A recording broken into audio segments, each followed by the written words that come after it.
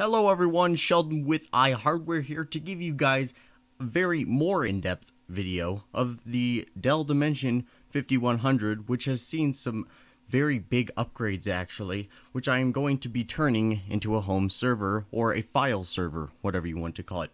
Please keep in mind, this video is not scripted at all, so I might say really weird stuff every once in a while, and it might get very, very strange.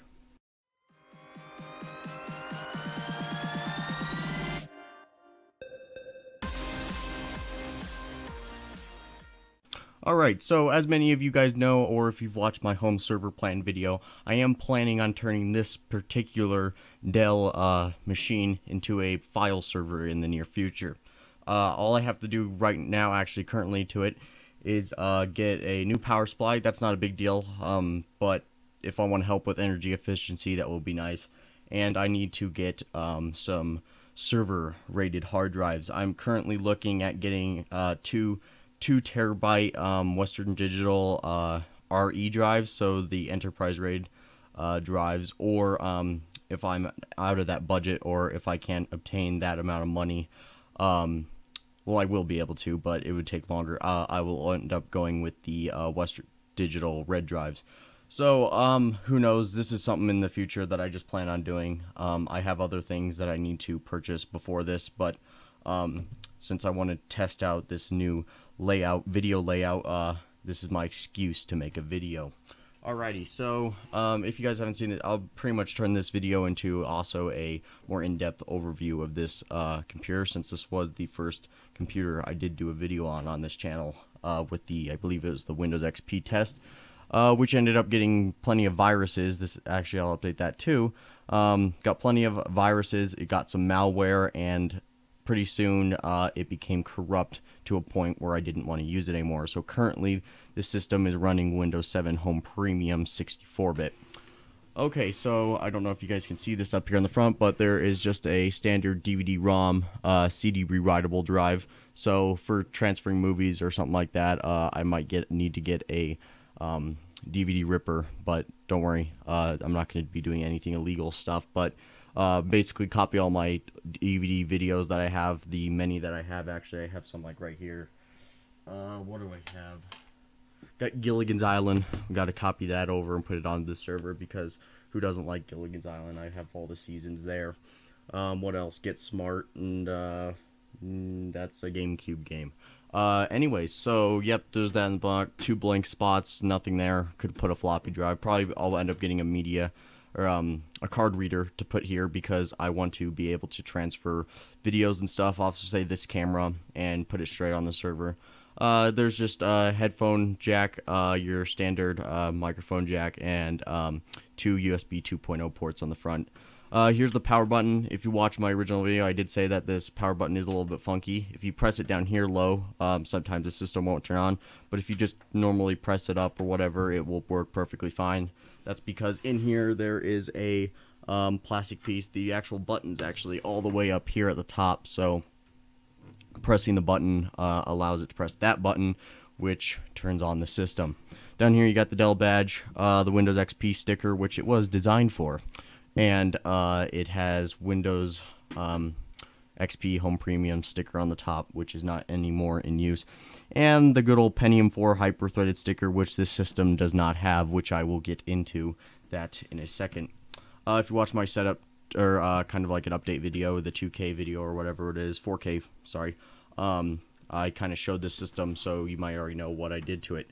Uh, in here the is the fan. Um, currently there's a, um, what is that, uh, Delta fan in there, so it's a 120 mil fan uh, it's reversed, so I flipped it so that it's pulling in air through the back and blowing out through the front.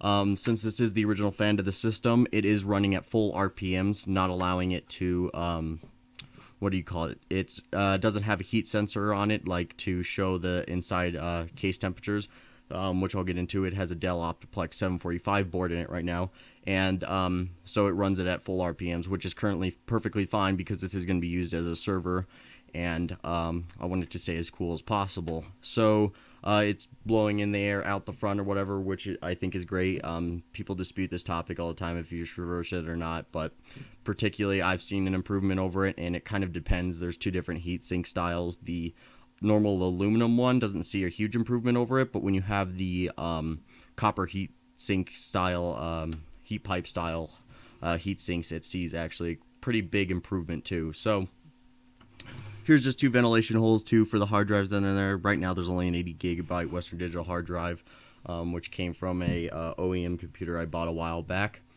Uh, I got the side panels here or whatever, um, and the other side panels. So I'll turn this to the back.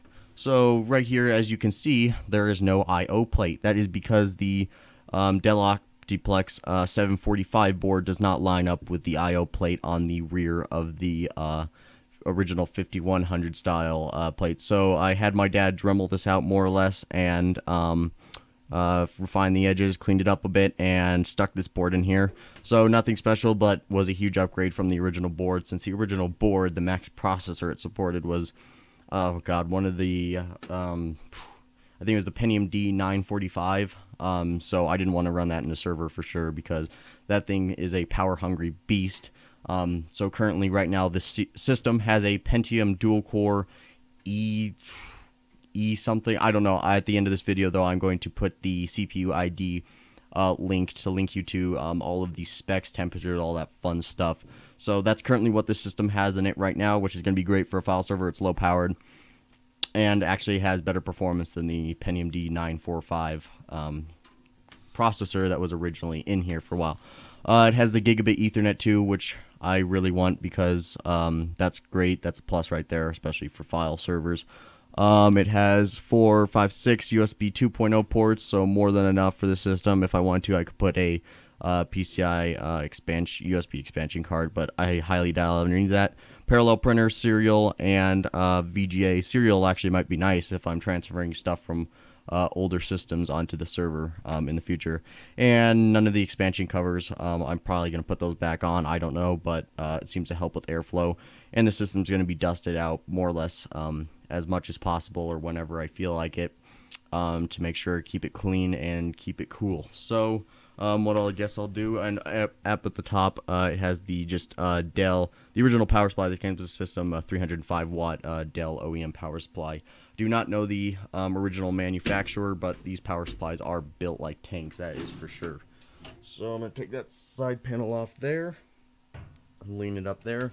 So as you can see, actually there is another hard drive in here. Let me figure out what drive that is. Um, I believe it might be God, what is it? A Seagate, I believe it is. Yeah, there's a Seagate um, 80 gigabyte uh, Barracuda 7200 RPM uh, SATA 3 drive, I believe, actually. Um, yes, uh, and it has a shock um, warranty void, da, da, da, shock in excess of 350 GS. Um, I don't remember what GS stands for. I'm not a big hard drive person, but um, yeah, that's more or less it. Eh, I don't know if this hard drive was made during that bad stage uh, when Seagate was having some bad drives, but this one seems to run 5 and it just runs quite loud actually, so I'm not currently going to be using it.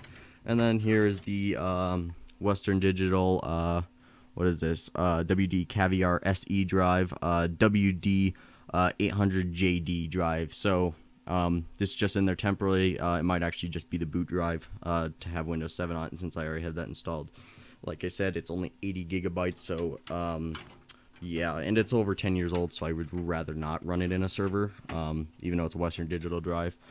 Uh, anyways, yep, there's the fan. That fan is flipped. Uh, here's the um, shroud here for the heatsink, and as I said, there's the aluminum heatsink in here, um, which works perfectly fine for this processor because it's such a low power CPU and um, uh, doesn't output as much heat as the original Pentium Ds that were based on the um, net uh, burst uh, technology from the Pentium 4s. I don't know if this is or not. Um, I'm pretty sure it's not because this was kind of right before they got into the Core series, and I believe it was released during um, the Core series, Core 2 Quad and all Core 2 Quad, Core 2 Quad, um, and all those series of processors. Uh, just uh, standard cables and stuff. The power supply. This is one of the older model power supplies. If you look at the actual um, newer style ones, the ones that come with like the Optiplex and stuff, they have a little bit different design. Um, but this thing's uh, more than enough, and will probably just only reason why I'd be upgraded is just for power efficiency. But um, I'm going to get a voltage regulator or whatever you want to call those things, since I don't know the exact name to them. But to see how many how many watts this is actually pulling from the wall at full load. Um, say if I'm transferring a file or whatever to it, and that doesn't want to hold on because there's no expansion cards in it. Uh, that's pretty much it though for that. Um, right now it currently has, I believe, four gigabytes of RAM in it. Um, uh, it actually is ECC RAM, so um, that will help me with that error recovery in case anything bad seems to happen. Um, and since this is an Optiplex 745 board, it has two more um, SATA ports on it, and it does have the, um, uh, believe that's the USB uh, header or whatever. So if I wanted to put a card reader, which the original uh, board did not have. Um, also, the expansion slots are moved around. I do have the option to put a PS2 card in here if I want to use PS2 mouse and keyboard. Um, all the caps are good on it. Uh, I reapplied the thermal plate paste on the north or south bridge. Um, I don't know exactly. The chipset, that's what I meant. Because um, it was uh, dried out more or less. I'm currently using Arctic Silver, I believe, on both the processor and that chipset. Um, doesn't have the chassis intrusion switch, so it yells at me every time I boot it up, but that's no big deal since the system's going to be running 24-7. Um, that's all I can think of. The only last thing I can think of, too, is the fact that this motherboard doesn't have IDE, so I can't hook up this optical drive. Um, not a big deal. I have an IDE um, PCI uh, RAID card, so I could put that in there if I really wanted to. Um, that's pretty much it, guys. Uh, thank you very much for watching. And if you like this kind of setup that I've got going here, uh, please let me know. I have uh, many more computers to do videos like this on. I kind of wish I did the XPS video like this, but that thing's a giant tank, so um, you probably wouldn't see me most of the time, which I know you all want to see me. Um, I'm probably going to do a video on the Dell Dimension 4600, which was a very weird system when I obtained it. Uh, so yeah, that will be the next video probably I will end up doing. Uh, if not, uh, any, I don't know what else, but um, I do like doing this type of setup. So make sure to do all that fun subscriber stuff. I don't like telling people to do all that, but do it because I'm going to make you do it. No, I'm not. Um, anyways, thank you guys very much for watching, and I hope to catch you guys in the next video.